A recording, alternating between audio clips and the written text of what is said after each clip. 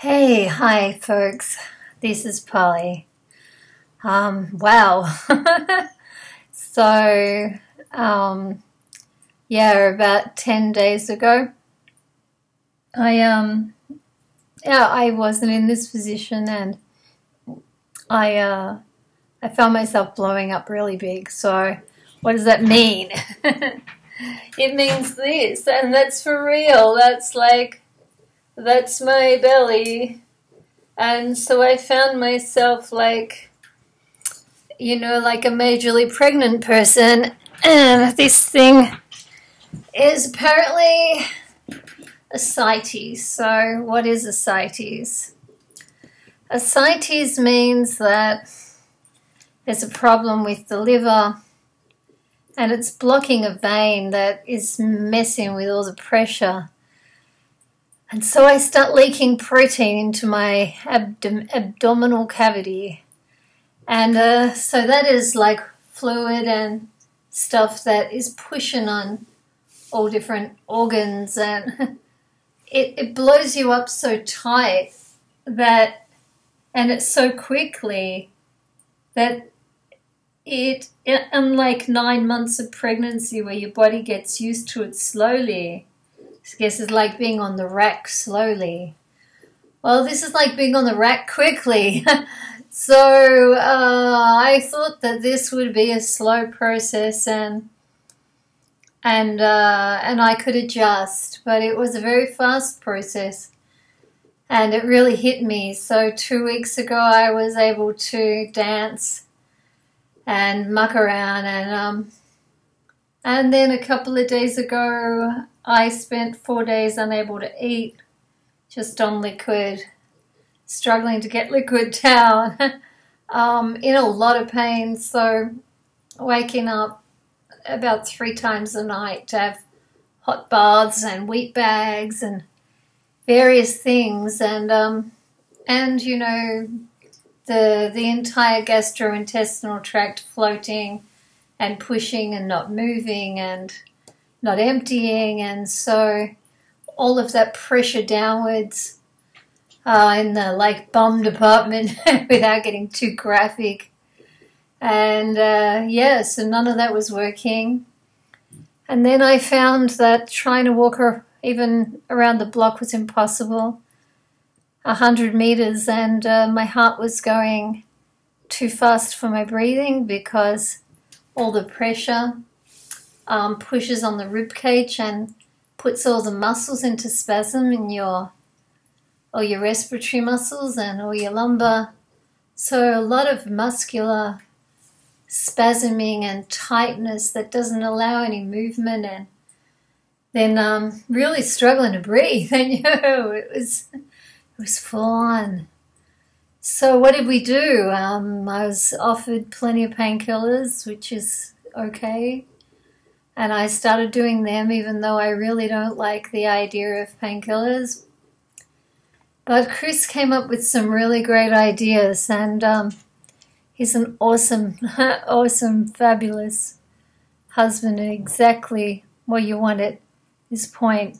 And um, he came up with the heat pads, so these are on the bed, and um, they they keep all the really, really harmed uh, muscles warm, which was really helpful and uh, reduced the pain a lot. We had a TENS thing, which does electrical impulses and kind of zaps pain in the lumbar muscles that are being really pushed in all this full on. Um, we I went on glutamine that helped me to finally stop shitting through the eye of a needle and allowed me to pee because um, it just gave some integrity to the bowel, which was really good. And of course, it's really hard because, um, uh, you know, it's difficult to put my shoes on like a nine month pregnant person. And But um, of course, I'm putting pressure on a liver that's got a lot of tumors. So it's not the same really as being pregnant. And um, but I learned a lot of tips from pregnant people, is really helpful. Um, I got some bathing suits that supported all my lumbar muscles and put all the weight on my shoulders instead of everywhere else. And I cut a big thing in the front and allowed all the distension to kind of pour out. And that was really helpful for a bit. Um, I share these because ascites is really, you don't have a lot of time when you get to that point.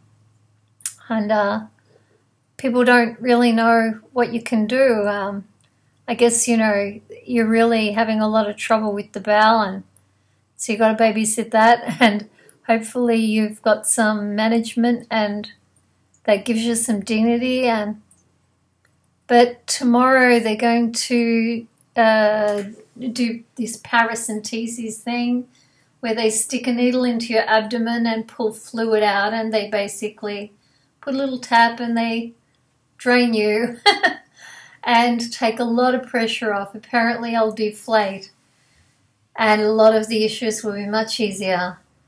As you can imagine, it's very hard to drive because you've got to stay sitting up and you've got to be able to re- react and uh, move your legs, and you've got this huge, big, pregnant looking belly in the waist it's like trying to drive as somebody who has suddenly become nine months pregnant in 10 days.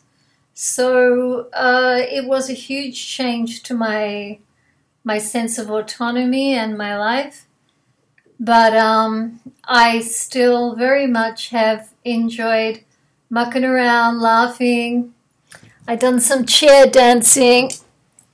Uh, I'm doing reasonably today. And yesterday I managed to sleep with very little pain, really well managed. Getting some solid food now the last two days, really big achievement. Um, so tomorrow when they drain me, I'll have a lot of relief, which is really great. And then sometimes that fluid will take longer or shorter to build up again. And that's the way it goes from here, is just giving me, uh, as a dying person, some quality of life, which is really good. Um, but it's great to know that even really challenged, there is still love and laughter and life. Pain makes it really hard. um, but if you can get the pain under control, if you can understand where the pain is coming from um, and how you might wing it, um, I think that that that's a really good thing. It's about as good as you can do. Um, having the the feeling all my life that I never fully identified with the body was really helpful. Because as you can imagine, being suddenly someone who's like nine months pregnant is really a huge shock to the system in 10 days. and suddenly, you know, you look at people fixated with body image.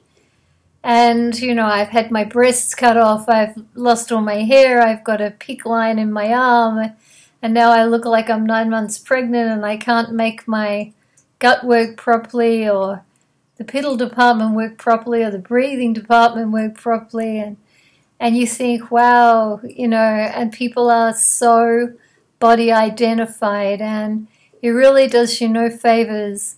The less you can get body identified and the more uh, comfortable you are about being more than just your body i think the easier this particular phase can be it's a real time to challenge your connection, your your your attachment, your identification with body. Um, yeah, and I'm really glad that I was ahead of the game on that in a lot of ways.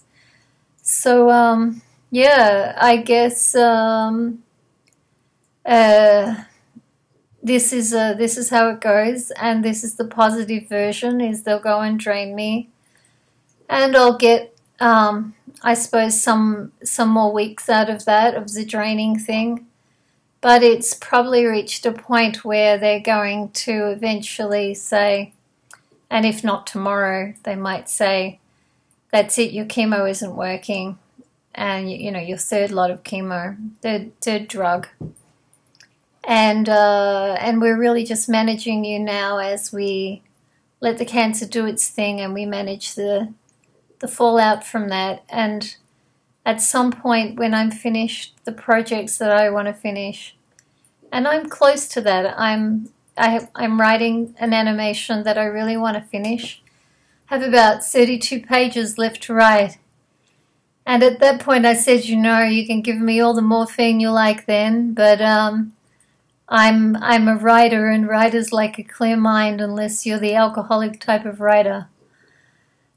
So, um, yeah, just uh, I guess I'll be ready when when that happens, and I have no projects, and it's it's just a casual day, and and I'm ready to rock and roll, and they give me enough drugs that I know I stay asleep, and then leave my machine off, my breathing machine, and and I'll be I'll be ready, and that's what it's about. It's about that. Are you ready? And um, yeah, I, I'm feeling much more close to ready. yeah, and that's that's not a you know I guess to the people who are not dying, that's a very strange thing, but it is part of this transition. Is getting to a point where you are ready, and um, you know they say that there's a time there's a time for endurance, and there's a time for fighting, and there's a time for accepting and working with things. And, you know, the, they say there's a time for suffering and surrender. And hopefully the suffering is eased enough, but I guess it's also a bit of a gift because it pushes you to say you're ready and to say, I am more than the body. And um, yeah, and and that that surrender thing. It's not surrender in weakness. It's surrendering the body, and when you surrender the body, hopefully you feel that it was a life fully lived, that it was that you live on in some way. Whether in you know, in my case, I feel I live on in in the patchwork of all the people I've ever affected, the same as I am a patchwork of all the people who ever affected me, and I look out the window and I see Chris having a life, and it's a life that will move forward, and it's not one that dies with me, and I'm part of the patchwork that is him. And I am therefore out there with him in the garden and planting seeds and doing things, and I think that's beautiful. Um, yes, I'll lose my conscious awareness of it, but I will have bits of me living on in all kinds of people, in all kinds of places, uh, through all kinds of things. And whether it's my music or my writing or my art, or just my personhood and the way it's it's impacted people just as they impacted me. And that's a really uh, fabulous, fabulous thing in this this thing of feeling it's a life well lived and and all this stuff about but you're so young or blah blah blah. I mean that's just stuff. That's rhetoric.